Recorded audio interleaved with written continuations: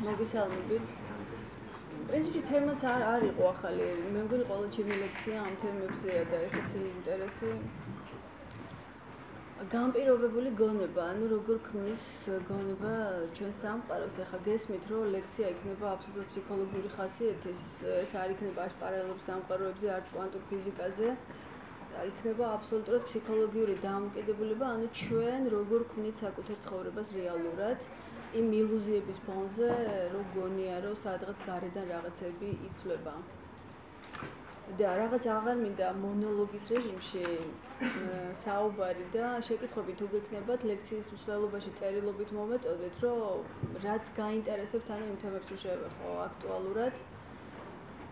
მაგრამ მინდა რომ რაღაც ესეთი რეფლექსია გქონდეთ ახლა ჩემთან ერთად, იმიტომ რომ ეს ესეთი თემაა როგორ ქმნის გონება სამყაროს 1000 წელი შეიძლება ისაუბრო ამაზე, მაგრამ თუ ეს განცდაში არ შემოუვიდა ადამიანს და თავად არ განიცადა, უბრალოდ შეუძლებელია ადამიანმა გაიგოს, იმიტომ რომ მოგიხსენებათ, ჩვენ ძალიან стереოტიპულად გუზრდიან, გვაყალიბებენ, გვიყალიბებენ გონებას. ზოგადად განპირობებულ გონებიდან დავიწყოთ, მაშინ რა არის განპირობებული გონება? მე ძალიან ბევრჯერ მაქვს ამაზე საუბარი, მაგრამ მაინც სულ გვეკითხებიან, რომ ეს წერილები მოდის გამპირობებული და დაპროგრამებული ვისგან და ამიტომ მინდა რომ რაღაც ერთად ვიფიქროთ, რომ იქნებ სულაც არ არის მარტებული ჩემი ხედვა, ხო? რა არის გამპირობებული გონება? ზოგადად თქვენ იცით უკვე ცნობილია ფსიქოლოგიაში ცოტათი გარკვეულები მაინც თუ ხართ, რომ ადამიანი როდესაც იბადება, ცნობიერება გარკვეულწილად სუფთა დაფას წარმოადგენს, ანუ პიროვნული არაცნობიერი, რო გავყოთ ხო კოლექტიური და პიროვნული არაცნობიერი ადამიანს არა, ანუ გონება არის ამ შემთხვევაში სრულიად თავისუფალი. და აი შემდგომში თუ დაკვირვები ხართ უბრალოდ, მინდა ხა ძალიან სერიოზულად და რეალურად თქვენს ცხოვრებაში გადახედოთ ეს როგორ ხდებოდა. მხოლოდ ამ შემთხვევაში ექნება ფასი ამ საუბარს, თუ თქვენ აუცილებლად რეფლექსია გეკნებათ საკუთარ ცხოვრებაზე, როგორ ხდებოდა და როგორ მიდიოდა თქვენი კონკრეტულად აი ყოველი თქვენგანის გონების ჩამოყალიბება, იმიტომ რომ არავითარი მნიშვნელობა არ აქვს ჩვენს გვერდით ადამიანები რა მდგომარეობას აღწევენ ცნობიერებით, თუ ჩვენში ისევ ქაოსია, თუ ჩვენში ისევ კონფლიქტია.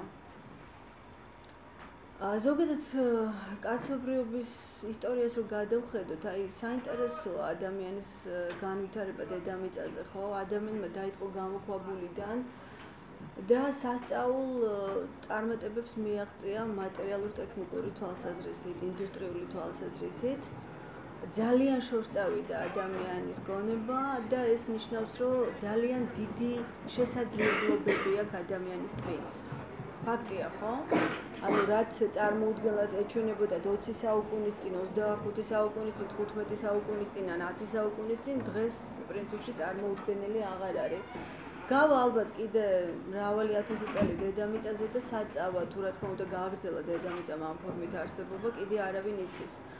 მაგრამ ნიშანდობლივია ერთი რამ, ზოგადად ადამიანის კონკრეტული ერთი ადამიანის ცხოვრებაში რა შეიცვალა.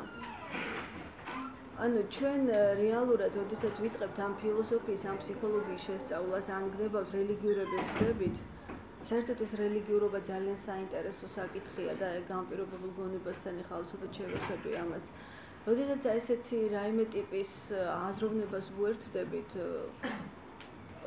გიფიქრია და ალბათ იცით რომ მიზანი აქვს ერთადერთი ადამიანს უნდა რაღაც საკუთარ თავში აღმოაჩინოს, რაც მას სიმშვიდეს მოუტანს. ანუ რეალურად აი რაღაცა მეტაფიზიკური და ეხა ძალიან ფილოსოფიური ჭორმეტყოლების მიღმა ვიტყოდი ხშირ შემთხვევაში ბოდვების მიღმა დგას ერთი ჩვეულებრივი ადამიანი რომელიც იბადება დედამიწაზე და რაღაცა გარკვეული წლების მერე საერთოდ ვეღარ იგებს რისთვის ცხოვრობს, რატომ ცხოვრობს და კონფლიქტი და ქაოსი რაც ავსეა სამყაროში. ხო, ანუ იცვლებოდა, მოდი მიდიოდა ცივილიზაცია წინ, რაღაცები რევოლუციები ძალიან ბევრი რამ იცვლებოდა დედამიწაზე, მაგრამ არ შეცვლილა ადამიანის ყოფა. ადამიანი არის ძალიან მარტოსული არსება. ადამიანი არის ძალიან შეშინებული და ძალიან დაპატარავებული არსება, ну ძალიან დიდი და მრავალი ნიღბით. ნიღაბი, რომელიც გჭირდება ალბათ თვით გადარჩენისთვის. აი ეს გრძელდება მილიონობით წლები და ადამიანის ტვინი სხვათა შორის მილიონობით წლების მანძილზე ვითარდებოდა და გარკვეულწილად ინფორმაციას, აი რასაც ჩემ თქმში იუნგისეული კოლექტიური არაცნობიერი ეწოდა, აი იმ ინფორმაციის მატარებელია ყველა ადამიანი. ну ეს ისე ზოგადად. ეხლა კონკრეტულად ჩვენს ცხოვრებაში რა ხდება? ეხლა მინდა ძალიან ერთი წერტილი და აი არ ვიცი თუ დაიჭერთ ახლა ამ წერტილს რასაც გეტყვით მე აღარ გაგიჭირდებათ მედიტაცია აი ამ საკითხზე როგორ ქმნით თქვენ თქვენს ცხოვრებას ყოველ წუთს და ყოველ წამს. ეს არის ძალიან საინტერესო მომენტი როდესაც იღვიძებთ აი ძალიან გთხოვთ ახლა იფიქრეთ ამაზე როდესაც იღვიძებთ დილით და ჯერ კიდევ გძინავთ ნუ ან რაღაც კარგი სიზმრიდან გამოდიხართ ან სულაც არ გინახავთ სიზმარი მაგრამ უბრალოდ აბსოლუტურად დაცლილი ხართ თქვენი ყოველდღიური პრობლემებისგან. აი, თუ ეს არ ქონიათ, არ გიფიქრიათ, აი, იფიქრეთ ამაზე ხვალდილიდან, როდესაც გაღვიძებას დაიწყებთ, ისევ რელაქსაციაში, ისევ მოშვებული, ისევ მშვიდი და წამებში როგორ იწება გონების ავსება ფიქრებით. ფიქრები, რომელიც მომენტალურად გაღვიძებს და გეუბნება. ხარ რელაქსაციის მომენტში და გეუბნება, რომ შენ ხარ ესა და ეს პიროვნება, სახელი, გვარი, სტატუსი, მდგომარეობა, სოციუმი და პრობლემები. რა პრობლემითაც დაიძინეთ წინა ღამეს. აი, ეს წერტილი არის ძალიან საინტერესო მედიტაციისთვის და რატო? აი, იმ მომენტამდე, სანამ ეს თქვენი ფიქრები არსაიდან მოსული, პრინციპში არავინ არ იცის საიდან მოდის და საით მიდის. ეს გაუთავებელი ნაკადი ფიქრების სანამ შემოვა თქვენს გონებაში აი ეს წამიერი რელაქსაცია დაიჭირეთ რა. აი თუ ამ მომენტზე იმუშავებ ძალიან სერიოზულად თქვენ მიხვდებით რომ არავინ თუ არა ისევ თქვენი გონება ქმნის იმ სიმძიმეს იმ რა ვიცი უბედურებას თუ იმ დაძაბულ ყოფას რომ დაახლოებით 10 წუთის მერე თუ 15 წუთის მერე, როდესაც ფხიზლდება ადამიანი და აღმოაჩენს, რომ ისევ ამ ზოგისთვის მარაზმატიკულ სამყაროში გაიღვიძა და კვლავ იწყებს ადამიანი ახალ ახალ დღეს ისევ დამძიმებული, ისევ ფიქრებით და ისევ ბრძოლით, უნარით თუ რა ვიცი, სურვილით და იმედით, რომ ის დღე მაინც მას მოუტანს არაფერს. შემდეგ როგორ გადიხართ სახლიდან ამ ფიქრებით სავსე? გუშინ გაწყდა რაღაც, გუშინ ვიღაცა მაწყენინა, გუშინ ან ვაწყენინე და ამამცირეს ან დავამცირე რამშველობა ხო? სოციალური ურთიერთობების სავსეა ასეთი დაძაბული ყოფით. აი უბრალოდ ამას რატო გიხსნით? იცით, მე მინდა რომ სათითაოდ ყველა მის თქვენს გონებაში დაიჭიროთ. შესაძლებელია თუ არა აქ ფიქრის გაჩერება. აი ფიქრის, რომელიც წამიერად, კარგი მოხდეთ რა. იდენტიფიკაციები შემოაქვს თქვენთან. მე ესა და ეს პიროვნება, ну, დაუშვათ მე ფილოსოფოსი თუ ფსიქოლოგი თუ ესეთი ტიპი თუ ისეთი ტიპი და მომენტალურად მიხვდებით, როგორ იფსება თქვენი გონება ისე ძალიან ნეგატიური აზრებით. არ ვიცი, ეს ისე მედიტაციისთვის უბრალოდ ამას თუ შეძლებთ, ძალიან ბევრ რამეს საკუთარი გონება გაგაცნობიერებინებთ შემდგომში. ეს არის ის ალბათ რაც სასიცოცხლოდ მნიშვნელოვანია. კონკრეტულმა ადამიანმა დაიჭიროს ის რაღაცა ზღვარი სად გადის მის რეალურ პიროვნებასა და მის თავში არსებულ აი ამ ქაოს შორის. ეხლა სწორედ აი ამ ქაოსზე ვისაუბროთ, საიდან იწყება ადამიანის დამწყება და რატომ არის ადამიანის გონება ესე გადატვირთული? აი ეს არის ყველაზე საინტერესო. ხო, აი მე ადამიანს რომელსაც მინდა ვიყო ბედნიერი, რატომ არ ვარ ბედნიერი? მე ადამიანს რომელსაც მსურს ძალიან ბევრი რამ, რატომ არაფერი არ მეძლევა ცხოვრებაში და ბოლოს და ბოლოს რატომ არის ან არ ვიცი რამდენი მილიონი წელია ეს დედამიწა და რამდენი 10000 წელი კიდე ადამიანი მუდმივად ქაოსში და კონფლიქტში. და ხდება თუ არა ეს რეალურად სამყაროში, თუ ხდება ეს ადამიანის გონებაში. აი ეს მომენტი უნდა გააცნობიეროთ აუცილებლად. მე არ მინდა გამზადებული პასუხები, რომელსაც რაში გჭირდება ჩემი გამზადებული პასუხი. ეს ჩემი გამოცდილებაა და შეიძლება სულაც აბსოლუტურად მცდარი იყოს. აი ეს არის ძალიან საინტერესო მომენტი რეფლექსიისთვის. არის თუ არა სამყარო ესეთი სასტიკი და ესეთი მძიმე და ესეთი ნუ რაღაც ქაოსური თუ ჩემი გონება ქმნის ამ ყველაფერს აი წეღა რო გითხარით ის წამი დაიჭირეთ გაღვიძებისას სანამ ჯერ კიდევ შეგიძლიათ ძილბურანში რელაქსაცია და როდესაც უკვე იწყებს თქვენში ეს ისე ძველი ადამიანი გაღვიძებას, აი მიჯნას თუ დაიჭერს, დამრწმუნეთ ძალიან ბევრ ამას გააცნობიერებთ. რეალურად გააცნობიერებთ, არა ინტელექტუალურად. რეალურად ათulis წერტილი შეიცვლება თქვენ ცნობიერებაში. რაღაც ცენტრი, საიდანაც ჩვენ რეალურად ვაზროვნებთ. ეხლა რა ხდება გამპირობებული გონება? რას ნიშნავს დაპროგრამებული და გამპირობებული გონება? დაახლოებით 5-6 წლის ასაკამდე ბავშვი, თუ არა და გაიხსენეთ თქვენი ბავშვობა, ვისაც შვილები გყავთ, არის აბსოლუტურად თავისუფალი. აი დააკვირდით ბავშვს. ეს არის ბედნიერება. მეტი ბედნიერება დედამიწაზე არ არსებობს. ეს არის ბუნებრივი სიხარულის მდგომარეობა. როგორი მდგომარეობა აქვს ბავშვს? ბავშვს არ აქვს იდენტიფიკაცია, ხო? მე ვარ ესა და ეს, ეს ქესი, ამ სოციუმის წევრი, ამ კასტის წევრი, მე არ ვარ ქართველი, ფრანგი, ქრისტიანი, ბუდისტი, დიდარი ოჯახი, ღარიბი ოჯახი, ლამაზი, მახინჯი. ეს ბავშვს უდაოდ არ აქვს, მეთანხმებით ხო? რაღაც ასაკამდე ეს არც ერთ ჩვენგანს არ ქონდა. არ ვიცი, ზოგი არის მეხსერება მოყვება ღრმა ბავშვობიდან, თუ გახსოვთ 4 წლის, 5 წლის ასაკში ფრაგმენტულად მაინც რამდენად ბედნიერი იყო, იყავით, რამდენად ლაღი იყო სამყარო. და ადამიანები მე ხშირად საუბრობენ როგორ შეიცვალა სამყარო არა ბატონებო სამყარო არ იცვლება ეს ჩვენი ცნობიერება იცვლება. ყველაფრის გასაღები ადამიანის გონებაშია. აბსოლუტურად ყველაფრის. შემდგომში იწყება ბავშვის აღზრდა განათლება. ძალიან დიდ როლს რო ვანიჭებ სხვათა შორის და სამყარო ესე ცხოვრობს ათასობით წლები. დედამიწა ესე ვითარდება, დედამიწას აქვს თავისი რაღაც კანონები, ხო? სოციუმში თუ ქსურსურ ცხოვრება და ეხლა იცით, ნუ ვიქნებით ისეთი გულობყოლოები, რომ ვიფიქრებთ, რომ ჩვენ სოციუმის გარეშე ვიცხოვრებთ, ვერ ვიცხოვრებთ. ჩვენ განწირულები ვართ ერთმანეთთან ურთიერთობისთვის. გესმით რა საინტერესო რამეა დედამიწა? იბადები არ მოგწონს ძალადობა, ქაოსი და განწირული ხარ. ჩვენ უნდა ავიტანოთ ერთმანეთი. აი ჩვენ ვერ ვიტანთ ერთმანეთს რეალურად, მაგრამ სხვა გზა არა გვაქვს. საინტერესოა რა ვინ შექმნა ესეთი სამყარო? ანუ ვინ გვაიძულებს აი ამ მდგომარეობაში ცხოვრებას? კარები, თორე ხმაურია ძალიან შეიძლება. არის მის? შევი გარეთ არის მის? ანუ გონება რეალურად როგორ აყალიბებს ჩვენს ცხოვრებას. ეხლა მივყვეთ ხო ქრონოლოგიას, გამოდის ბავშვი თავისი ძალიან ბედნიერი სამყაროდან, ჩვენ ამას ფსიქოლოგიაში დაბადებასაც ვეძახით. ხეშერის იაპონელები ამბობენ, რომ აი 7 წლის ასაკიდან იკეტება აი ეს რაღაცა იუნგი რასაც ამბობდა, რომ ბავშვი ამოდის ყოველი ბავშვი ამოდის კოლექტიური არაცნობიერიდან და მოყვება მას რაღაცა თავისი სილაღი, ხო? აი იაპონელები ამბობენ, რომ 7 წლის ასაკში ეს იკეტება და ცალსახად განსაზღვრულია, რომ ბავშვი სკოლაში უნდა მიიყვანოს 7 წლის მერე.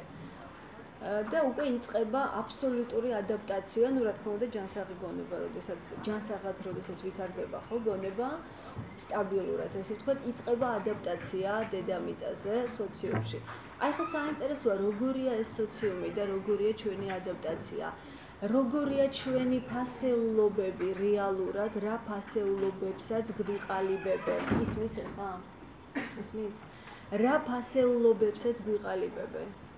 საინტერესოა ხო?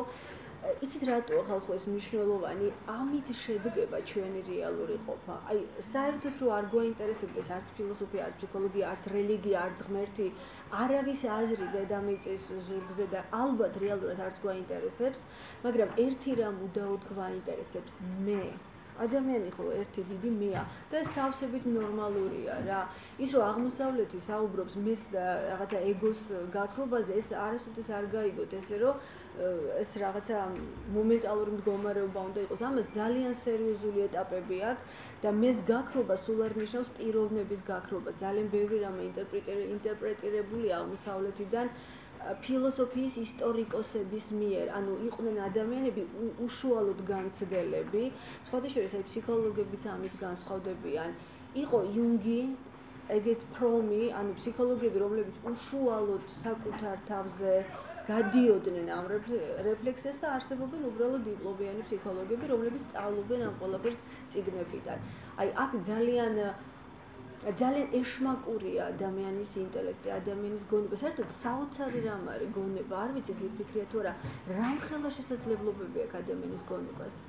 სიხარულის, სიყვარულის, სიძულვილის, ბოროტების შეუძლებელია დედამიწის ზურგზე რაიმე არსება ისეთი კარგი ან ცუდი მოიფიქროს, როგორი შეიძლება ადამიანმა მოიფიქროს. შეუძლებელია და ეს არის გონება. მეთახმებით, ხო ჩვენი არსებობა ეს თავიდან ბოლომდე ფსიქიკური ექსისტენცია.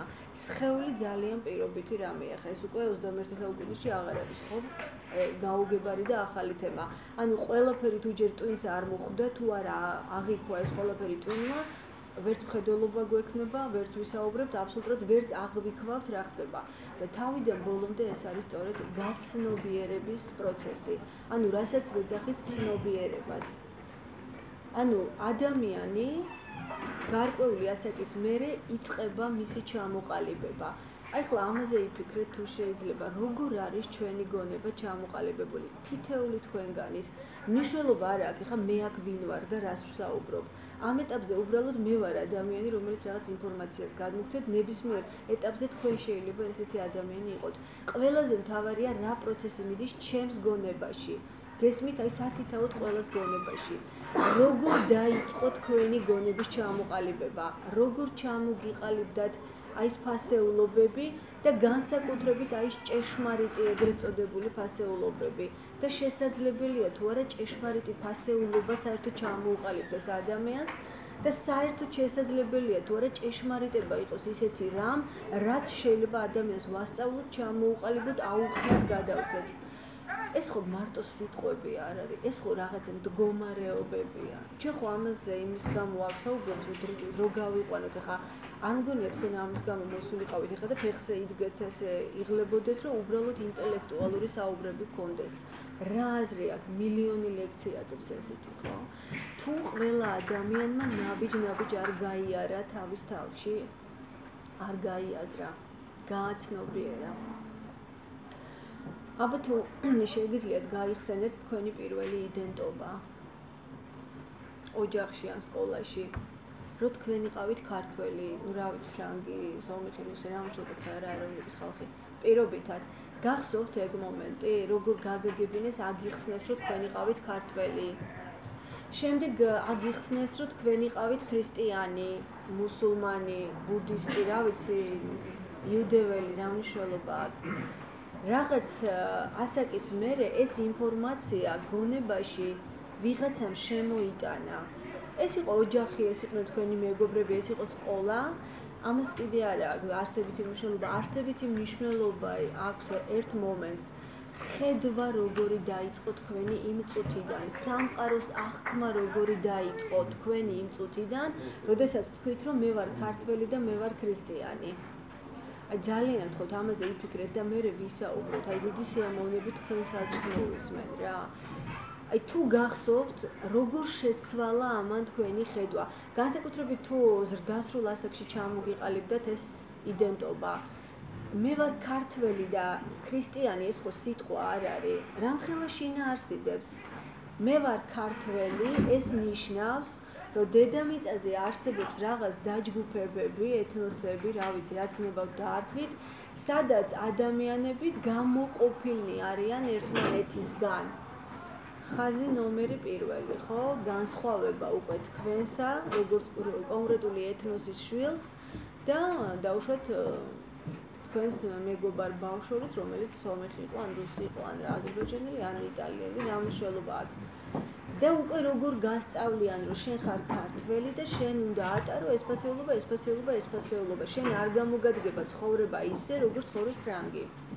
ხო, მიყვეთ უბრალოდ, მე არც არაფერს ვეწინააღმდეგებ ხა, არც არაფერს ვამტკიცებ. რეფლექსიისთვის მიყვეთ ამ ყველაფერს. შემდგომში ფასეულობა, რასაც რელიგიურობა ქვია, არ ვიცი ვის რომელ რელიგიასთან გაქვთ იდენტობა. წუთი თუ გახსოვთ თქვენ ცხოვრებაში, როცა რელიგიაში გარკვეული არიყავით, არ გესმოდა თელი ეს რიტუალები, ну ღმერთი ახლა ესეთი ძლიერი არქეტიპია, რომ ასეთი უსი ადამიანი რაღაცაზე სულ ფიქრობს, ხო? პატარა დაუცველი არსება ამ სამყაროში, რომელიც მუდმივად ეძებს რაღაც დასაყრდენს და ნუ არი თქვენ არ გაღელბებდათ რა გეცვათ, დახეული იყო ეს ფასი, ქონდა არ ქონდა, თქვენ არ არიწოდით სახლი რომელშიც ცხოვრობთ როგორია რა რომელ ქალაქშია სოფელშია უბანშია? არიწოდით თქვენი დედა სხვა დედასთან შედარებით უკეთესი იყო უარესი იყო? არ გესმოდათ თქვენ უბრალოდ გიხაროდათ ცხოვრება ეს ეტაპი აქ ყველა ადამიანს გავლილი. ეს არის უბედნიერესი ბავშვობა რეალურად. თუმცა ეხა ისეა ყველაფერი რომ ზოგს ეს ბავშვობაც აღარ აქვს უკვე. უბრალოდ მინდა რომ ამაზე იფიქროთ რა სიხარული და სიამოვნება. ეს ორი სრულიად ურთიერთსაწინააღმდეგო რა. სიხარული რომელიც იყო თქვენს არსებობაში. მე ვარსებობ და მე მიყვარს სამყარო და ვიღებ სამყაროს. ისეც როგორიც არის. ხო თქვენთვის მთავარი იყო სოციუმი თქვენი მეგობრები თქვენი პატარა სამყარო ნუ ბავშვის თვალით რა ხდება მე ამაზე მინდა ძალიან იფიქროთ რა. განსაკუთრებით სკოლის ასაკიდან 12-13 წლიდან იწყება სიმძიმე ადამიანის ცნობიერებაში. რა ხდება ამ დროს? ძალიან ხოთ გაიხსენეთ ჩადით თქვენს წარსულში. რა მოხდა ამ პერიოდიდან? რატომ დამძიმდით? რატომ გახდა ჩვენთვის მნიშვნელოვანი უკვე ბრენდი, ტანსაცმელი? რატომ გახდა მნიშვნელოვანი მეგობარი რაღაც კრიტერიუმებს უნდა პასუხობდეს? ჩემი გარეგნობა კრიტერიუმებს?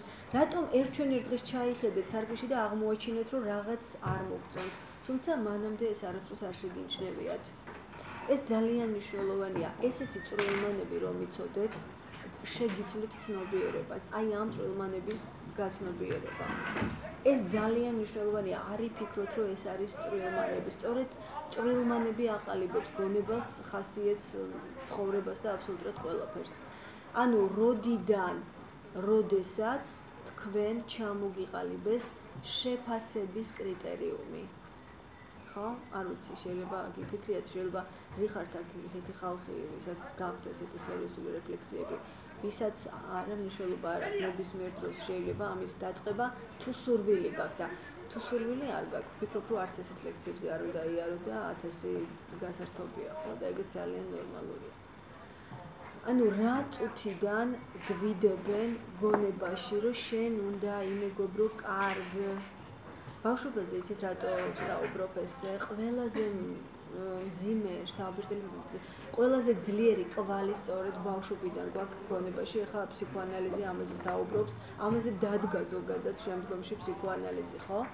ანუ ბავშვობა ვითომა ესეთი არაფერი მაგრამ რეალურად როგორ ტოვებს კვალს უკვე შემდგომში ჩვენს განვითარებაში უკვე აღმოაჩინეთ 10, ну 10 წელი ზოგისთვის ჯერ კიდე პატარაა, სადღაც 12-13 წლიდან აღმოაჩინეთ, რომ თქვენ სულაც არ ხართ ისეთი ლაღი და მხიარული და რაღაც ესეთი სიხარული ცავსი ადამიანი, რატომ? იმიტომ რომ გაგიჩნდათ გონებაში შეფასების კრიტერიუმი. თქვენ უკვე ადამიანები, რომლებიც უპირობოდ გიყვართ, დედა, мама, ავტორიტეტები სამწუხაროდ ძალიან დიდ როლს თამაშობენ ბავშვების ცხოვრებაში მასწავლებელი რომელიც მუდმივად გეუბნებათ რომ შენ თუ გინდა იყო წარმატებული შენ თუ გინდა იცხოვრო იმ სამყაროში რომელიც სამყაროს ნუ რომელ სამყაროში დაიბადე და შენ უნდა იცხოვრო შენ უნდა გახდე ესეთი ესეთი ესეთი. შენ უნდა დაიცვა ეს წესი შემდგომში ის რელიგია საერთოდ ცალკე თემა რას უშვება ადამიანის გონებას რელიგიას და თუ ხარ რელიგიური ხალხი ზიხარ სანამ პროტესტი გაგიჟდებათ აი ცოტა ხანი იფიქრეთ ამ თემაზე.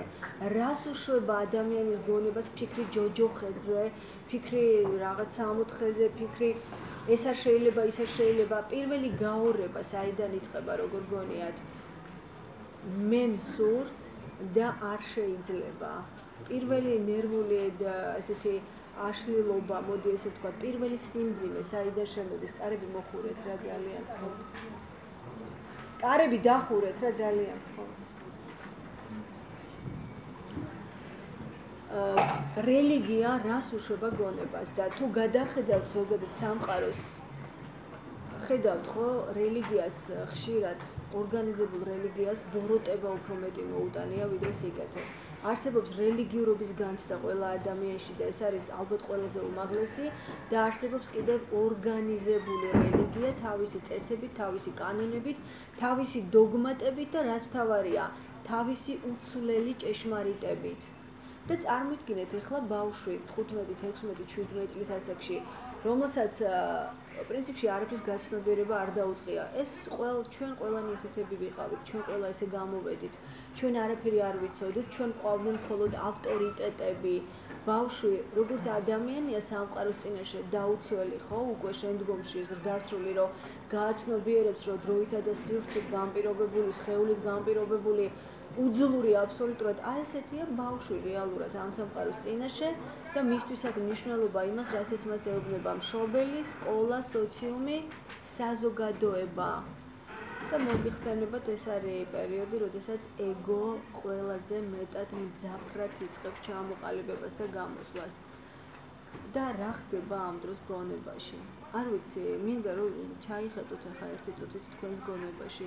რა ფიქრებით დადიხართ? როგორ უყურებთ სამყაროს, როგორ უყურებთ თქვენს მეზობელს, განსხვავებული რელიგიის ადამიანს, განსხვავებული ნაციონალობის ადამიანს, განსხვავებული კანისფერის ადამიანს, ელემენტარულად თქვენგან განსხვავებული იდეების მატარებელ ადამიანს. ძალიან ხოთ ვიყოთ გულწრფელები და გადახედეთ სოციალურ ქსელს. მუდმივი შეურაცხყოფა, რამე სხვა ხდება იქ? ეს სოციალური ქსელი ჩვენ ვართ ხალხო, მე და თქვენ. ჩვენ ქმნით აი ამ სოციალურ ქსელს, სადაც ყველაზე გულწრფელად გამოდის ის, რასაც ადამიანი ფიქრობს. რის გამო დაიწყო დაპირისპირება ადამიანსა და ადამიანის შორის? გიფიქრიათ ამაზე? რის გამო უპირისპირდება ერთი ადამიანი მეორე ადამიანს? საკუთარი წარმოსახვების გამო. ხვდებით იდეების გამო ერთმანეთს ცხოვრებას ვუმწარებთ. იმიტომ რომ მე ვთვლი რომ ეს იდეა ნომერი 1 ეს სულ ერთია იდეა არის რელიგიური, ფილოსოფიური, ოჯახური რამნიშნულობა აქვს. თქვენ გაქვთ ჩემგან განსხვავებული იდეა და თქვენ ხართ ჩემი მტერი. ძალიან გთხოვთ გონებაში ჩაიხედეთ საკუთარში. ეს ვართ ხალხო ჩვენ. ჩვენ იდეების გამო ვერ ვიყავთ ერთმანეთს. ჩვენ აი ამ ფორმების გამო ვერ ვიტან. მე მაგ იმიჯი ჩემს თავზე, თქვენ გაქვთ იმიჯი თქვენს თავზე და აი ეს ორი იმიჯი ეჯახება ერთმანეთს. ანუ რატომ არ მიყურებთ ისე, როგორც მე მინდა რომ მიყუროთ? გესმით? ეს ხო ყველაზე რეალური ფიქრია. რატომ არ მცემთ პატივს ისე, როგორც მე ვფიქრობ, რომ პატივცემული ადამიანი ვარ და რესპექტაბელური ადამიანი ვარ, კეთილი ადამიანი ვარ, ჭკვიანი ვარ, ლამაზი ვარ? ეს ხო ჩვენი ყოველდღიური ფიქრებია, რატომ ვერ ვიტან სამყაროს? იმიტომ რომ პატივს არ მოგვაგებს ეს სამყარო. რა თქმა უნდა, არ ჩვენ არ მივაგებთ პატივს სხვას, მაგრამ ადამიანს ის რა შეაინტერესებს თვითონ რას მიაგებს. როგორ მექცევა სამყარო, მუდმივი გამოწვევები და პასუხი, ხო? ჩვენი ცხოვრება რა არის? გამოწვევა და პასუხი, გამოწვევა, პასუხი. სად არის ობიექტური ხედვა? სად არის ადამიანის რეალური მდგომარეობა? საერთოდ არსებობს ესეთი დარჩა ადგილი ადამიანის ცნობიერებაში თავისუფლებისთვის. არ ვიცი, თუ არ გიფიქრიათ ამაზე, იფიქრეთ რა. ეს ფიქრები, რომელიც დღეს უკვე ესე გვამძიმებს და ესე მძიმეა ჩვენი მიახლება სამყაროსთან, არავის გარედან არ შემოუტანია ჩვენში. ეს ფიქრები ჩამოაყალიბა ჩვენმა აღზრდამ, თეორიებმა, იდეალებმა, ავტორიტეტებმა, რელიგიამ, იდენტობებმა ჩვენ ვართ ყველაფერი ის, რაც გვასწავლეს და ჩაგვიდეს გონებაში. ეხლა თავიდან ბოლომდე გადახედეთ თქვენს გონებას რა არის. მხოლოდ და მხოლოდ მეხსიერება. ხო? ადამიანის გონება თავიდან ბოლომდე ეს არის მეხსიერება. ანუ რაც იყო გუში. ყველაფერი რაც მოხვდა თქვენი ცნობიერების არეალში და ну 1000 ჯერ მithქვავს და გავიმეორებ, რომ ცნობიერება ეს არის ძალიან თხელი აპკი გადაჭიმული არაცნობიერის უზარმაზარ ოკეანეზე. ვციტირებ ახლა იუნგის სიტყვებს. მასშადამე ირაციონალური მოტივები, აი ეს არაცნობიერი აბსოლუტურად აი ესე თავისი შენახული შთაბეჭდილებებით, აღზრდით, გამოცდილებით მიღებული ცოდნით სადღაც ეს ყველაფერი გადავიდა თქვენ ალბათ აღარც კი გახსოვთ ეს გაკვეთილი როდის ჩაგიტარათ მასწავლებელმა დედამ როდის გითხრათ რომ როგორი პატრიოტი უნდა იყო ან რელიგიამ როდის გითხრათ. მაგრამ ამას უკვე დღეს მნიშვნელობა აღარ აქვს ეს ყველაფერი სადღაც წავიდა და აგრძელებს არსებობას. თლიანად აპროექტებს თქვენს ხვალინდელ დღეს. გესმით რატომ არის ეს საინტერესო? იმიტომ კი არა რომ მე ვსაუბრობ მე აბსოლუტურად არავინ არ ვარ იმიტომ რომ ეს ყველაფერი ქმნის ჩვენს ხვალინდელ დღეს, ჩვენს ხვალინდელ ურთიერთობებს, ჩვენს ხვალინდელ ტკივილს, ჩვენს ხვალინდელ სიმძიმეს თუ სიხარულს. ყველაფერი, აბსოლუტურად ყველაფერი იწყება აი აქ. თქვენი მიახლება სამყაროსთან. ის მის. აა, კარგი მოხდება. ეს ყველაფერი არის აი სასიცოცხლოდ მნიშვნელოვანი. თუ თქვენ რა თქმა უნდა სურვილი გაქვთ გააცნობიეროთ აქ არავინ არ გეუბნებათ რომელი იდეა რომელს ჯობია ან ერთი იდეა ჩაანაცვლოთ მეორეთი. და ხშირად არის შეკითხვა. როდესაც გამომაცალეთ ყველა იდენტობა ქართველი ქრისტიანი ფასეულობები მაშინ ვინ ვარ მე? ვარ კი ადამიანი. ეს ძალიან საინტერესო შეკითხვაა ვფიქრობ და ძალიან დასაფიქრებელი ანუ ადამიანი ეს იდენტობაა? ანუ ადამიანი დედამიწაზე რო იბადება ეს უკვე ქართველია, უკვე ქრისტიანია, უკვე ფრანგია, უკვე ფილოსოფია, უკვე ფსიქოლოგია თუ ამის მიღმა არსებობს კიდევ რაღაც? უბრალოდ მდგომარეობა, ცხოვრება, ჩემი დამოკიდებულება ყოველდღიურობასთან. ეს ხოვრება ყველაზე კარგად მე მგონი ბავშვობაში იგრძნობა და შემდგომში უკვე იმ ადამიანებისთვის რომლებიც გარკვეულწილად აღწევენ გაცნობიერების რაღაც მდგომარეობას. როდესაც შეგიძლია გაიღვიძო და კლავ გაგიხარდეს უბრალოდ ერთი რამ, შენი საკუთარი არსებობა. არსებობა არა ამ ფორმით, ამ ზომით, ამ რაღაცა პლასტიკური ოპერაციის შემდეგ ან რაღაცა დიდი თანამდებობის მერე არა, ცხოვრება, რასაც ქვია, მე ვარ. თქვენი საკუთარი არსებობა. აი, აქ არის ძალიან სერიოზული ზღვარი და ეს ზღვარი მე მგონი არ არ უნდა გაუჭirdეს ადამიანს თუ ამაზე მუშაობს ამ ზღვარის დაჭერა თქვენსა და თქვენს იდენტობებს შორის. თქვენსა და თქვენს გონებაში შემოსული ამ ზღვა ინფორმაციას შორის. მე რა ხდება ხო კითხულობ კითხულობ კითხულობ მე რიწება იდენტობა ანუ არაცნობიერი იზრდება პიროვნული არაცნობიერი ნუ კოლექტიური არაცნობიერში რა ხდება ხო საერთოდ კაცმა არიცის. იწება პიროვნული არაცნობიერის გადავსება სიმძიმე გამოსავალი რა შეა ყველა გეტყვით განათლება განათლება რა არის? წიგნები წიგნები. ნუ კითხულობ ლიტერატურას კითხულობ ფილოსოფიას კითხულობ ფსიქოლოგიას ნუ კითხულობ რელიგიურ წიგნებს. მაგრამ სამწუხაროდ არაფერი არ იცვლება. ისევ ისე იღვიძებ სამყარო, ისევ ისე დაპირისპირებულია შენთან, ისევ ისე არ გიხარია და ისევ ესე მომავალს გასქერი რაღაც იმედი, თუ აი გათენდება რაღაც ნანატრი დღე, როდესაც მოვა ბედნიერება ჩამოივლის ჩემს ქუჩაზე. სიყვარული, რომელიც მოვა, სადღაც დადის, მაგრამ ჩვენ ვერ პოულობს. აი ეს ძალიან საინტერესო მომენტია. გონება, რომელიც რეალურად გაიძულებთ იცხოვროთ ისე, როგორც რეალურად ცხოვრობთ. და ღმერთის ფენომენი, რომელიც ადამიანში შემოდის და შემდგომში ყველაზე მყარად, ყველაზე სერიოზული შიშებს ადამიანში ქმნის. უბრალოდ ამაზე მინდა რომ ერთი წუთი დაფიქრდეთ, ახლა თქვენ აბსოლუტურად შეგიძლიათ არ მიიღოთ ჩემი საუბარი. ღმერთი თავისთავად არსებული რაღაც თუ ის არსებობს, გნებავთ რაღაც კოსმიური გონი, არ ვიცი სახელებს რა მნიშვნელობა აქვს და ღმერთი, რომელსაც ჩვენი გონება აპროექტებს. გნებავთ ორგანიზებული რელიგიების დახმარებით. გადაშალეთ სახარება იქ ღმერთი თავისი ატრიბუტებით, გადაშალეთ ყურანი ღმერთი ატრიბუტებით, იქ აღმოსავლეთში უპიროვნო ღმერთი, ხო? ყველა რელიგიას ღმერთი როგორ ტახტზეს, როგორ ზის მისი ირგვლივ ქერუბინების, სერაფიმები თუ არ ვიცი სხვა რელიგიებში როგორ არის და შემდგომში ეს ღმერთი როგორ მოითხოვს თქვენგან მუდმივად პრინციპში არა არაფრის კეთებას რა იმიტომ რომ ეს ყველაფერი რომ ადამიანმა დაიცვას რაც ჯულის კანონში წერია ნიშნავს რომ თქვენ ან მკვდარი უნდა იყოთ ან არაფერს არ უნდა აკეთებდეთ მაგრამ რა ვუყოთ რეალობას? რა ვუყოთ ადამიანის გრძნობით სფეროს, რა ვუყოთ ადამიანის სურვილებს, რა ქნას ერთმა დაუცველმა, გაუცნობიერებმა ახალგაზრდა ადამიანმა, რომელსაც პრინციპში არც ის უთხოვია, რომ დედამიწაზე გაჩენილიყო, დაიბადა და უკვე ყველა მას ასწავლის, საით წავიდეს, როგორ წავიდეს და კაცის შულს არ აინტერესებს რეალურად მას რა სურს და სად შეიძლება ეს ადამიანი იყოს ბედნიერი. აიცით რა არის აი საუკუნების მანძილზე ეს რელიგიების ორგანიზებული რელიგიების შექმნაც ამას ემსახურებოდა ფილოსოფიური სისტემების შექმნაც ამას ემსახურებოდა შემდგომ კომუნისტებს ჰქონდათ ესეთი საინტერესო ესეთი ბედნიერი ადამიანის პროგრამა ხო ანუ გარედან შეუქმნათ ადამიანს ვასწავლოთ ჩამოუყალიბოთ ეს ადამიანი გახდება ბედნიერი ეს პროგრამები ძალიან ბევრი ქონდა კაცობრიობას ძალიან ბევრია რელიგიაშიც მაგრამ სამწუხაროდ ამ პროგრამებს არავისთვის ჯერ ბედნიერება არ მოუტანია. ერთი სისტემა ანაცვლებდა მეორეს, მეორე სისტემა ანაცვლებდა მესამეს.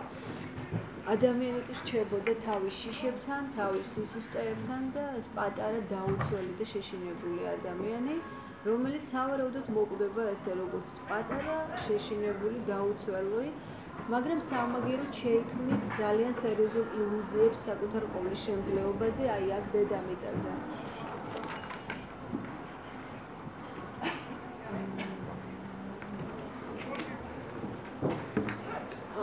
აუცილებლად გავცემ ამ შეკითხვის პასუხს. ეს ძალიან საინტერესო შეკითხვაა სხვათა შორის. უბრალოდ აა სათქოში შევიქნით ასეთ პრობლემას. ხო, ვიქნით ადამიანები ილუზიებს ну თუ ადამიანი გახდა ძალიან დიდარი მაგ აქ ასევე დაუცველობის ისა დაცულობის ილუზია, ჩინოვნიკს აქ დაცულობის ილუზია, მაგრამ საიდან სადამდე გრძელდება ეს კაცმა არ იცის. ერთადერთი რეალური გამოსავალი ყოველ შემთხვევაში მე ვფიქრობ, რომ კაცობრიობამ სხვა გამოსავალი ვერ იპოვა რეალურად. ერთადერთი გამოსავალი ის არის, რომ მხოლოდ თქვენ თავად შეგიძლიათ საკუთარი თავის პოვნა და დახმარება. არ არსებობს ავტორიტეტი, არ არსებობს მეორე ადამიანი. ჩვენ უბრალოდ შეიძლება აი საუბრით, როგორც ახლა მე ვცდილობ რაღაც გესაუბროთ, მეც თავის დროზე ვიღაც მესაუბრებო და თქვენც ალბათ ვიღაცას გაესაუბრებით, შედარებით რო თქვენზე ნაკლებად იყოს ამ საკითხში გაცნობიერებული, მაგრამ საბოლოო ჯამში ადამიანი დგას აბსოლუტურად მარტო და მას აქვს მხოლოდ და მხოლოდ ერთადერთი გამოსავალი: გაიგოს რა სტრუქტურა აქვს მის გონებას. გონება, რომელიც თავიდან ბოლომდე მართავს მის ცხოვრებას. გააცნობიეროს რა ხდება მის საკუთარ გონებაში. როგორ გონიათ ეს ომები, ეს ქაოსი, ეს ტკივილი, ეს უბედურება ვინმე მოიდანა დედამიწაზე? აი, ხოლო და მხოლოდ ამან. წარმოიდგინეთ, დედამიწა იყოს დაუსახლებელი, აბსოლუტური სიმშვიდე იქნება. სამი ადამიანიც რო გაჩნდეს დედამიწაზე, აი სამი ადამიანი ვერ გაიყოფს ამხელა დედამიწას. რატო? იმიტომ რომ ადამიანის სურვილს დასასრული არ აქვს, სურვილი შობს ახალ სურვილს. რატო? სათავე სად არის ამის? სიცარიელე. და რატომ არის ადამიანის სულში თუ გნებავ ცნობიერებაში თუ ფსიქიკაში აი სიცარიელე რაც უკვე შემდგომში გავაცნობიერებთ ამის არსებობას? იმიტომ რომ მთელი სივრცე აქ ადამიანს შეუცნობელი. ადამიანს წარმოქმნა არა გუშინ რომ ის ცხოვრებაში თითქოს ძალიან პრიმიტიული მოვლენები მოხდა რამხელა კვალი დატოვა სინამდვილეში მის მოვლენებში მის გონებაზე ადამიანს წარმოქმნა არ აქვს სამი წლის წინ რომ ვიღაც უყვარდა თუ ვიღაც არ უყვარდა ვიღაც ძულდა დღეს როგორ მართავს მას ეს ემოციები. ჩვენ ხო არასოდეს არ ვასრულებთ ურთიერთობებს. აი ეს ყველაზე საინტერესო რა არის იცით? დასრულებული ურთიერთობა. გაცნობიერება მეტი კი არაფერია რეფლექსია იცით რა არის გნება ფსიქოანალიზი. დააბრუნო ადამიანი იმ მომენტთან რომ სადაც დაზიანდა გნებავთ ეს იყოს 20 წლის წინანდელი ამბავი. რა მნიშვნელობა აქვს გონება ამ ყველაფერს ინახავს როგორც გუშინდელ დღეს. უნდა დააბრუნო ადამიანი იქ და აი აიძულო პირდაპირ მოვლენები ბოლომდე დაინახოს. საბოლოო ჯამში აი ესეთი გადამძიმებული თუ გადატვირთული გონებით, ამდენი თეორიით, ამდენი იდეალით, ამდენი წიგნებით, შემდეგ ხდება თავის გაიგივება ვიღაცა აღმოსავლეთთან აიგივებს, ვიღაცა ქრისტესთან, ვიღაცა ბუდასთან, ვიღაცა ფილოსოფიასთან, ვიღაცა იუნგთან, ვიღაცა ნიჩესთან და იწება ახალი ილუზიის შემოსვლა ჩვენ ცხოვრებაში. ა რელიგიამ არ მომცა არაფერი, ახლა ეს ავტორიტეტი აუცილებლად მომცემს. ახლა ეს ავტორიტეტი არ მომცემს, ახლა მოდი ბუდიზმში წავალ, ახლა მოდი რაღაცა ფილოსოფოსი გავხდები. გესმით? და საბოლოოდ ხვდები, რომ სწავლობ, სწავლობ, სწავლობ კიდევ ტვირთავ გონებას. სიხარული და ბედნიერება მაინც არსად არ არის. მაინც ისე ისე გძულს საკუთარი არსებობა. და იმის განახვა ყველაზე კარგია, აი გაღვიძების მომას. აბსოლუტურად მშვიდი, რელაქსირებული ადამიანი, ადამიანი, რომელმაც პრინციპში საკუთარი თავი უნდა მიიღოს ის ისეთი როგორიც არის. ჩვენ დავაწესეთ ნორმები, ხო? ჰომოსექსუალიზმი ნორმა არ არის, ჰეტეროსექსუალიზმი ნორმაა. რაღაც ქერათმა ნორმა არ არის, შავითმა ნორმაა, ხო? იყო ეპოქები, რომ ქალს ესე უნდა ჩაეცვა, ესე არ უნდა ჩაეცვა, ესე უნდა გაერა, ესე არ უნდა გაეარა, ხო? ქრისტიანისთვის ნორმაა, აუცილებლად რაღაც ამ დროს ეკლესიაში წასვლა ეს ვიღაცისთვის ნორმა არ არის. სოციუმში ესე უნდა ისაუბრო, ეს ნორმაა, ეს ნორმა არ არის, ხო? დავაწესეთ ჩვენ ეს ნორმები და შემდეგ აღმოჩნდით ამ ტყვეობაში, მაგრამ იცით რა არის აქ საინტერესო? რეალურად სხვის დასანახად კი არ ვაკეთებ ამ ყველაფერს. აი ეს იდეალები და იდეები ტვირთავს გონებას და რეალურად ადამიანი მართლა პატარა შეშინებული არსება ხდება.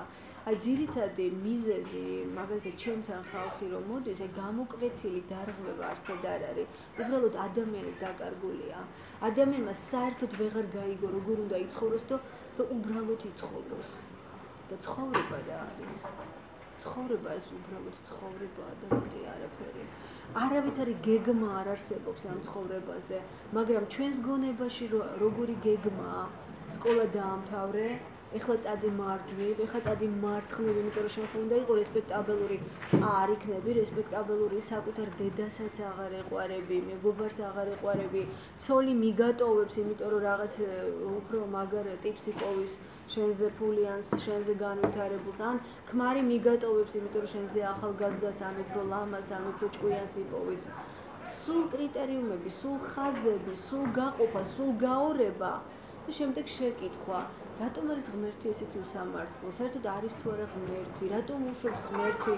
საინტერესოა ხა ხო იქ რაღაც უბედური მოვლენები რო ხდება სირიაში და ხშირად წერენ ხოლმე სად არის ღმერთი რომელიც ამ ყველაფერს უყურებს?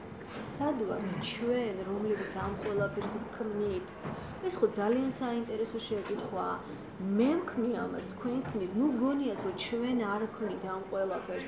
ჩვენ თუ აგრესიას შეიძლება ფიზიკურად არ გამოვხატავთ, ემოციებით გამოვხატავთ. ყველაფერი ენერგია აბსოლუტურად. ყველაფერი ენერგია, სიტყვაც ენერგია, ფიქრიც ენერგია. ეს ყველაფერი რაღაც უხილა ველშია მოქცეული და საბოლოო ჯამში მივიღეთ სამყარო ისეთი როგორიც არის. და პრეტენზია უნდა გქონდეს მხოლოდ და მხოლოდ საკუთარ თავთან. აი ვისაც ჯერ ეს კიდე არ გაუცნობიერებია, რომ ტერი გარეთ არ უნდა ეძებოს, რომ ეს არის საკუთარ თავში. ახო ალბათ ამ ადამიანს ჯერ კიდე ბევრი ტკივილის და ქაოსის გადატანა მოუწევს, თუმცა ესეც სავსებით ლოგიკურია. საერთოდ ერთ რამეს გეტყვით, რომ ყოველთვის მიიღეთ თქვენი თავი ისეთი, როგორებიც ხართ, როგორ ეტაპზეც. გასაგებია რომ გუშინ რაც იყავით დღეს ის არ ახართ გუშინ წინ რაც იყავით ცნობიერება მუდმივად იცვლება. მაგრამ ყოველ წუთს მიიღეთ თქვენი თავი ისეთი როგორიც ხართ. ეს არის ერთადერთი ბუნებრივი განვითარება. დაანებეთ თავი რას ფიქრობს განარჩენი სოციუმი. ეს სოციუმიც ამ უბედურებაშია ჩაფლული. სოციუმი რა არის? მე და თქვენ ერთად სოციუმი ხო ცალკე თემა არ არის წყალი არ არის გასა სოციუმი ეს არის ჩემი და თქვენი ცნობიერების ერთობლიობა. ჩემი და თქვენი ფიქრების ერთობლიობა. ჩემი აი პროგრამის და თქვენი პროგრამის მადლობა. ერთობლიობა. სოციუმი სხვა არაფერია. და როდესაც ვლანძღავთ სოციუმს, დავიწყოთ საკუთარი თავიდან. როდესაც არ მოგწონს სოციუმი, დავიწყოთ საკუთარი თავიდან. სოციუმი არის აი ამდენი ცნობიერების ნაკრები, ჩვენი გონების ნაკრები. და რა საინტერესოა, რა ყველაფერს აკეთებს ადამიანმა, გაიგო კოსმოსში რა ხდება, პლანეტების განლაგება როგორია. ვერაფერი ვერ გაიგო საკუთარ გონებაში რა ხდება. ისიც კი ვერ გაიგო ფიქრი რომ შემოვიდა და დაუნძიმა ხასიეთი. გააცნობიეროს მაინც საიდან წამოვიდა ეს ფიქრი. როგორ ჩემს გონებაში რაღაც ხდება და მე არ უნდა მესმოდეს რა ხდება? და მაინტერესებს მეზობლის სახში რა ხდება და მეზობელი ქვეყნის სახში და ვინ ვისთან წევს და ვის რა ორიენტაცია აქვს. ხვდებით რა დაპატარავებულია ადამიანი? აბსოლუტურად არ ესმის აი მექანიზმს, რომელსაც მუდმივად თანატარებს, მექანიზმი, რომელიც მის ცხოვრებას მართავს მთლიანად, აბსოლუტურად არ ესმის ეს მექანიზმი როგორ მუშაობს. საიდან შემოდის ეს ამდენი კასკადი ფიქრების? არ ვიცი, რამდენი ათასი ფიქრი შემოდის. რა შეიძლება მოუხერხო ამ ფიქრს და შესაძლებელი თუ არა დაკვირვება ამ ფიქრებზე?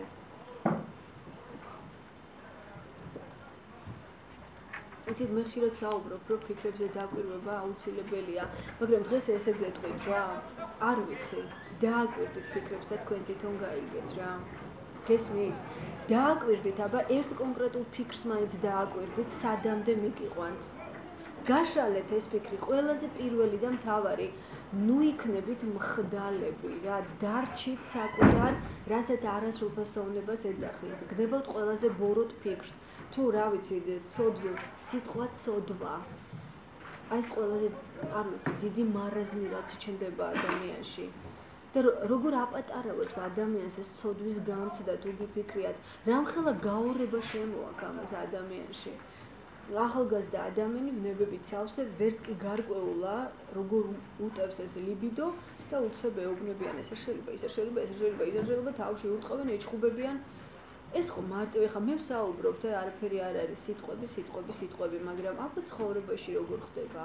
რამდენი ადამიანის ცხოვრება ინგრევა, რამდენი ფსიქიკა ინგრევა, ყველა ვერ უძლებს ამ წინააღმდეგობას, ყველა ვერ უძლებს ამ დაწოლას, ყველას ერთნაირი ფსიქიკა არ აქვს.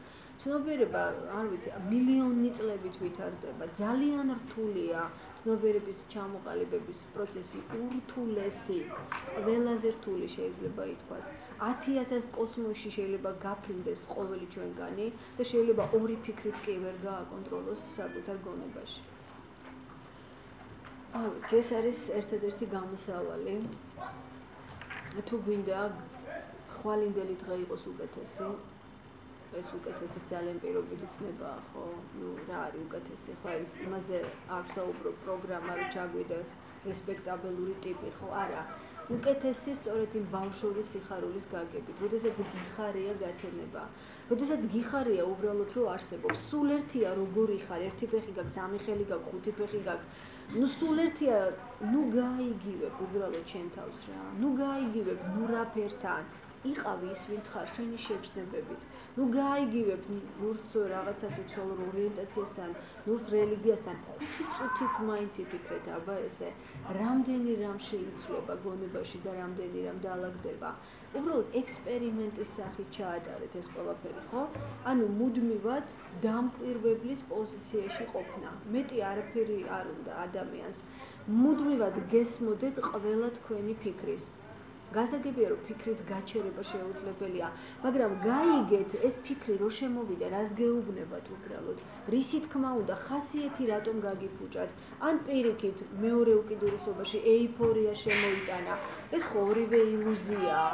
არსებობს რეალობა, ის რაც არის, თქვენი უბრალოდ მდგომარეობა, დანარჩენი არის ფიქრების კასკადი, მეტი არაფერი და დააკვირდით წამერას როგორ გეცვლებათ ხასიეთი რა. ერთ წუთს ფიქრების კასკადი წამოვა ხარ ძალიან ბედნიერი, მეორე წუთს უბედური და უცებ ეს რეალობის წამი თუ დაგიჭერია ცხოვრებაში ძალიან საინტერესო რამეა. არის წამი ესეთი რეალობის, როცა ხვდები, რომ სინამდვილეში აბსოლუტურად სხვა ხარ. რომ არაფერ შუაში არ არის მთელი ეს პროექცია, რაც თქვენი გონებიდან გამოვიდა. აი, როდესაც საუბრობთ, რომ სამყარო ჩემი პროექციაა, ეს იმას კი არ ნიშნავს, რომ ხე მე გავიფიქრე და შეიქმნა. შეიძლება ესე ეს მithome, ან მე ჩემმა ფიქრმა შექმნა თქვენ, არა. მაგრამ ჩემი ფიქრი აღგიქვავთ თქვენ. ხვდებით პროექცია. ეს ჩვენ ის კი არ გვაწუხებს, რომ ადამიანები ვართ, ადამიანური ფორმა გვაქვს, ან ერთნაირი შეეულები გვაქვს. არა, ჩვენ გვაწუხებს ის იმიჯი და ის წარმოდგენები, რაც ერთმანეთზე გვაქვს. ის იდეები, ის შიშები, ხო, მე თქვენი მეშინია, თქვენ ჩემი გეშინიათ. მე მეშინი არ დამცინო თქვენ გეშინიათ არ დაგცინო თელი ეს კასკადი ეს ნაგავი რაც ჩვენს გონებაშია და ჩვენ ვკვდებით ამ ნაგავთან ერთად ჩვენ ცხოვრობთ ამ ნაგავთან ერთად ჩვენ ვკვდებით ამ ნაგავთან ერთად და ყველაზე უბედურება ჩვენ ვიბრძვით აი ამ ნაგვის გამო რასაც ქვია ესეთი გამპირობებული და გადატვირთული გონება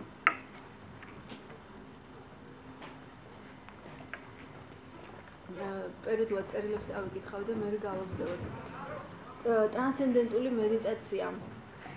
ძალიან საინტერესოა ეს ტერმინები, ტერმინები. მე რა თუ შეიძლება კონკრეტულად მითხარით, ვინც ეს წერილი მომცა, რას გულისხმობ ტრანსცენდენტულ მედიტაციაზე? მე რა თქმა უნდა ჩემი აზრი მაქვს ამაზე. და მეორე, შესაძლებელია თუ არა სურვილების და ემოციების მართვა აუცილებლად. შესაძლებელია კი არა, ეს არის აუცილებელი. თუ ადამიანმა ვერ ისწავლა საკუთარი ემოციების და სურვილების მართვა, ჩათვალეთ, რომ ის არის ძალიან საშუალო დონეზე განვითარებული ადამიანი. და სამყარო სწორედ იმიტომ არის ესეთი ქაოსური, რომ ადამიანებს მართვა არ შეუძლიათ საკუთარი ემოციების და სურვილების. და როგორ? აი ესე, როგორც ახლა ვსაუბრობ, დაკვირვება ყველა სურვილზე. უბრალოდ დაგიდგათ მომენტი ცხოვრებაში, რომ თქვენ ემოციურად რაღაც მოხდა გამოხვედით წყობიდან, იმ წუთას ვერაფერს ვერ გააკეთებთ. თუ თქვენში ემოცია ასე ძლიერია, შეუძლებელია დაანებეთ ფანტაზირობას თავი, აყევით ემოციას, გნებავთ იჩხუბეთ, იგინეთ, რა ვიცი, რაც გნებავთ. აი რომ გამოხვალთ ამ ყველაფრიდან, დამშვიდდებით, იმიტომ რომ სუსტ ცნობიერებას ესე მარტივად ამის გაჩერება არ შეუძლია, ამას ძალიან სერიოზული ვარჯიში უნდა. აი, როდესაც გამოხვალთ ამ მოვლენიდან, გნებავთ შეტრიალდით, წახვიდით სახში, აი დაიწყეთ ამ ყველაფრის გაანალიზება. ოღონ პირველ რიგში, რაც აი ფუნდამენტურად აუცილებელია, არ განსაჯეთ საკუთარი თავი და არ გაკიცხოთ საკუთარი თავი არისოდეს. არც გაამართლოთ, არც გაამტყუნოთ. აი შეეცადეთ როგორც ფილმს უყურებთ აი და ხართ ობიექტური მაყურებელი აი რაღაც ფილმია ხო? არიწებ თავის გაიგივებას და უბრალოდ სულ არ გაღელოთ. ეხლა თქვენი რომელი მხარეა მართალი რომელი მწვანე უბრალოდ გაინტერესებთ შინაარსი ზუსტად ანალოგიურად დაიწყეთ დაკვირვება იმ მოვლენაზე ისევ წრილმანებთან მივდივართ. ძალიან ხო წრილმანები ქმნის ჩვენს ცხოვრებას დაიწყე დაკვირვება იმ წრილმანზე, რამ გამოგიყვანათ რეალურად წყობიდან. გესმით? მაგალითად, ეხლა თქვენ ადეკით თქვით, რომ ნუ რა ვიცი, არ გიყვართ საქართველო, არ გიყვართ ქრისტიანი, ან მუჰამედი, რა ვიცი, სულ ერთია და უცებ მე გავგიჟდი ამაზე. რომ რას ქვია და პრინციპში მაღალი იდეისთვის გა სოციუმი ესე გვასწავლის. დიახ, თქვენ უნდა იომოთ იდეალებისთვის. დიახ, შენ უნდა მოკვდე ღმერთისთვის, შენ უნდა მოკვდე სამშობლოსთვის, ხო? ესე გვდიან, ესე გვაყალიბებენ და სირცხვილის კი ამის წინააღმდეგ წასვლა. მაგრამ აი მე რასაც გეუბნებით რეფლექსია, ეს გაიძულებთ ყველაფრის წინააღმდეგ წასვლას აბსოლუტურად. ამიტომ თუ ეს გამბედაობა არ იპოვეთ თქვენს თავში, რომ მთელი ეს стереოტიპები გააცნობიეროთ მაინც, დამერწმუნეთ არაფერი არ გამოვა რა. და ერთხელ თქვი და ვიმეორებ, ყველაზე დაბალი სექსუალური ენერგიიდან დაწყებული, ყველაზე მაღალი იდეა, ну ღმერთის პირობითად, ყველაფერი ექვემდებარება დაეჭვებას. ყველაფერი ექვემდებარება ფიქს, ბოლოს და ბოლოს არანაირი ვალდებულება არ გაქვთ იყოთ ცუდად იმის გამო რომ ეს ჭირდება რელიგიას, ჭირდება სამშობლოსთან იმას ან იმას. დასვით შეკითხვები და დაუსვით შეკითხვები საკუთარ თავს. და აი ამ ამის გაცნობიერებაში რომ მე რამ გამომიყვანა წყობიდან რომ თქვენ ახლა საქართველოს მიაყენეთ შეურაცხყოფა. აუცილებლად მივალ იმ მდგომარეობამდე რომ მე თავი გავაიგივე საქართველოსთან. საქართველოს ეს არის ძალიან აბსტრაქტული ცნება, ჩემო ძვირფასებო. საქართველოს ეს რა რა არის? ტყეები, მდინარეები, მთები, ჩვენ ამას ვაყენებთ შეურაცხყოფას? საქართველოს არის ის ხალხი, რომლებიც მასში ცხოვრობს. და თუ ეს ადამიანები არ არიან ბედნიერები, იდეა მითხარით რა, იდეა ყველაფერი, იდეისთვის უნდა ვიცხოვროთ. იდეა, რომელიც აქ არის და რომელიც 1000 შეიძლება ცხოვრებაში, ერთ ცხოვრებაში მოასწროთ რომ გქონდეთ და ვიღაცებს გონიათ რომ ფასეულობები რო არ ეცვლება და სიკვდილამდე რომ ერთი ფასეულობების მატარებლები არიან, ფიქრობენ რომ დიდი გმირობაა რა. ну კომუნისტი ფიქრობდა რომ კომუნისტად მომკვდებოდა რაღაცა სადღაც წავიდოდა ალბათ კომუნისტური სამოთხეც არსებობს ქრისტიანი ფიქრობს ქრისტიანულ სამოთხეზე ბუდისტი რა ვიცი რას ფიქრობს ხო ეს ხო ყველაფერი ფიქრებია. საერთოდ ვინ რა იცის სიკვდილის მერე რა ხდება? ხო ძალიან სასაცილოა ჩვენი ამდენი საუბარი სიკვდილზე. ინკარნაცია, რეინკარნაცია, სამოთხე ჯოჯოხეთი, მეორეთ მოსვლა, ქრისტე, ანტიქრისტე. რეალურად ვინმე ვიცის ეს ყველაფერი, რა დგას ამ სიტყვების მიღმა? არავინ არაფერი არ ვიცით, მაგრამ ვფიქრობ, რომ ეს არც არის არსებითად მნიშვნელოვანი. რა ყველაზე მნიშვნელოვანია ის მე სად ვარ, მე როგორ ვარ, მე რატო ვარ კარგად ან მე რატო ვარ ცუდად. აი, აქედან უნდა დაიწყოს აუცილებლად ამისავალი წესდები. შესაძლებელია არა სხვის კონტროლის საკუთარი აზრებით ადამიანზე ხშირი ფიქრით. აი ამ არ ავკითხულობ ვინ არის სერიოზულად გეკითხებით ამ წერილის ავტორს. საკუთარი თავის კონტროლი თუ შეგიძლიათ. აი ძალიან ხოთ ხა არანაირი ცინიზმი, არანაირი აი სერიოზულად, აი დედას გეფიცები სერიოზულად გეკითხები. ამ წერილის ავტორი არ დაფიქრებულა ცხოვრებაში არაფერზე. სხვისი კონტროლი, საკუთარი თავის კონტროლი შეგიძლიათ? აი პასუხსაც ესეც მოგცემთ, თუ გააკონტროლებთ საკუთარ თავს, სხვის კონტროლსაც შეძლებთ. ახლა შემიგავეთ აბესია თუ არა.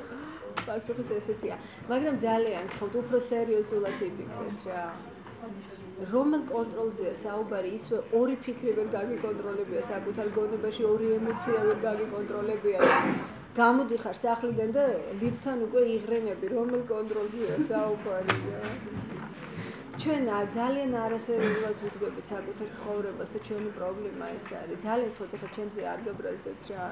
უბრალოდ ეს იმდენად მნიშვნელოვანი თემაა რომ ეს თქვენ ცხოვრებას მართავს თქვენ თუ იმ ფიქრით იძინებთ და იღუძებთ რომ თქვენ სხვისი კონტროლი გინდათ ვერაფერს ვერ მიაღწევთ ცხოვრებაში ძალიან ფსიქიკური რღვევაც კი წავა თქვენში რა ყველაფერი იწყება საკუთარი თავიდან დაიწყეთ ერთი ფიქრის გაკონტროლებით, გააზრებით, გაცნობიერებით და მე მიხვდებით რამდენი რამის კონტროლი შეიძლება რეალურად დედამიწაზე.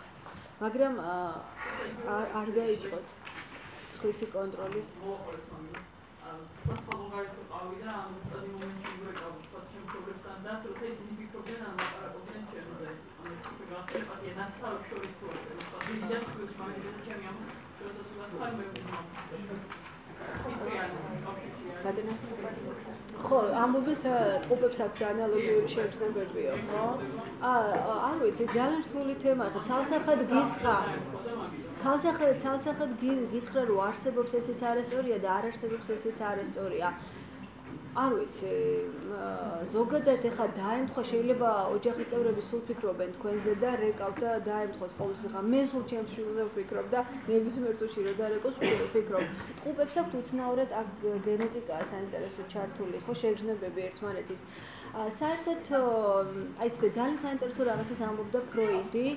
ახლა რატო ამბობ ფროიდს? იმიტომ რომ ძალიან პრაგმატული იყო. ახლა მე შემიძლია ვისაუბრო აღმოსავლეთი როგორ საუბრობს ამაზე, მაგრამ აღმოსავლეთი ცოტა შეიძლება მისტიკაში იყოს. აი ფროიდი ამბობს საინტერესო რაღაცას, რომ რაღაც რაც შეიძლება უკვე დაწყებული იყოს სამყაროში, მოსახდენი თქვენ შეიძლება სიზმარში ნახოთ. აი ამას ამბობს ფროიდი.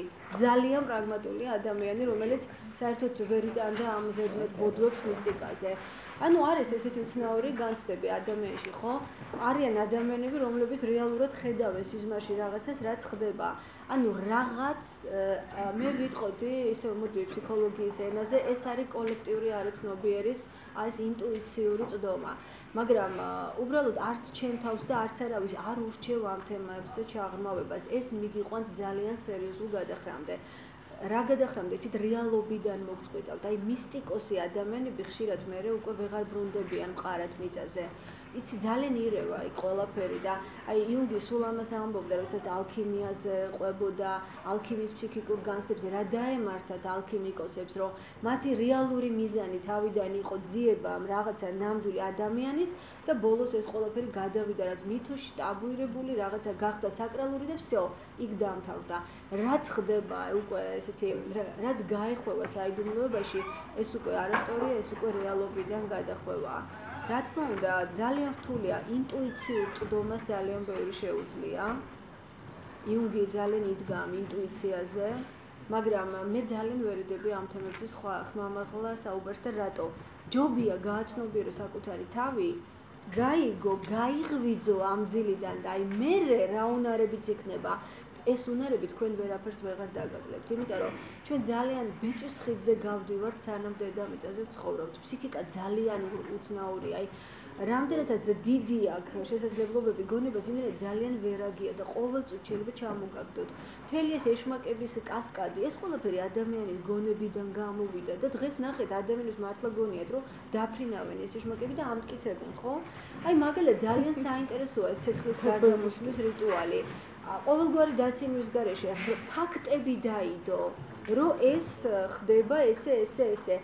იმდენად არის ადამიანის გონება დაპროგრამებული, რომ მას არა ამის მოსმენა არ უნდა. როგორ გონიათ, რატო ეს ადამიანი ამ რელიგიას იცავს? არა, საკუთარ ილუზიებს იცავს. რატომ იცით ეს იდენტობა ქრისტიანობასთან, რომ მარტო მართლმადიდებელზე გადმოდის ეს ცეცხლი, ხო? ეს მოახდინე რაღაც დიდთან და ეს დიდი არის ჭეშმარიტი და მე ავტომატურად მიმათრევს ღმერთისკენ. ამას ძინარე ადამიანის სულას ღმერთისკენ პირობითად ქვია წათრევა ღმერთისკენ მეტი არაფერი. თუ საერთოდ შეიძლება ვინმე წაგათრიოთ, ხო? ეგეთი